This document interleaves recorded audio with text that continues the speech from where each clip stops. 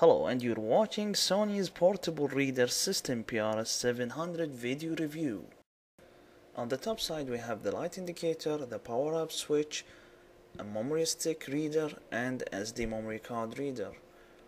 On the side we have a stylus so you can browse through pages or just uh, add notes or anything else. On the bottom side you have the volume rocker to increase the volume or decrease it. And next to it is the headphone jack a USB connection to charge it and to transfer files. And also a DC in to charge the device. Two settings for light and hand strap here I'm showing how to disconnect the device from the cover. It's very easy to do. As you can see uh, now we'll browse some books it comes with 15 books and 100 book if you are in USA uh, for example we are now running a book. You can change the pages by pressing the keys down the next page key or you can use the stylus to move forward or your hand or your fingers. If you yeah as I'm showing if you hold down it will go forward passing through the pages. If you click options you will see a set of options. For example table of contents. If you click it or select it you will see the table of contents. You have the zoom feature. If you are using you can change the text size medium small to medium to large and X large and double X large. It's good for old people or people with poor sight or vision. Usually I use it at small. You can bookmark a page by tapping in the corner or uh, there is a feature in the options.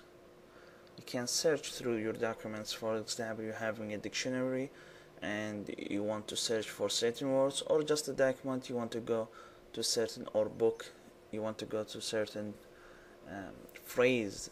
You want to find how many it's uh, in this page and where is the location of them of those words.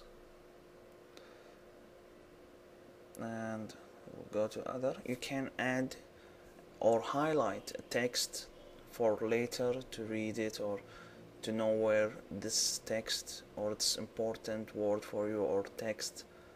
And you can add note to that highlight. For example I am typing now test note. And don't worry about the speed. You can type as fast as you want. It will put it in or fill it in later because the display takes time to refresh. That's it. If you click the highlighted text you will see your note as you can see the X to close it. Now I'm installing a memory card with our almost 218 book or PDF files to be exact. Um, we'll see how long it will take to recognize all the books and put them in their places and also there is some music files and pictures it doesn't take too much. As you can see now it's 283 books it used to be 15 only. Go for pictures. You'll you can use or view by thumbnails or uh, by names. You can to listen you can choose music to listen to music files mp3 files or AAC files play you can see it's moving the status bar to tell you how long to finish this song or that. You can find all the notes or highlighted text here. You can make collections of books. For example I am here making collections. If you have a lot of books it's better to make collections. You can go through by names. Now I am describing or showing the built-in uh, light the side light. It's not backlighted it's on the sides as you can see. But it's really quite good in the dark to read. I'm showing another document with with some Arabic text. Now I will show you some zoom feature in PDF files. This is great. Other devices the previous device didn't have zoom in in PDF files.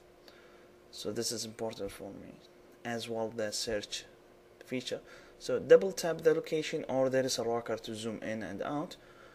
Uh, to zoom in to the location you want. To move or uh, to yeah to move the image or the file or the document you are zoom in to move around you just tap hold and move. Like you're dragging the page. So drag the page around to see the text or where you want to see to exit the zoom mode just click next or return or the zoom key again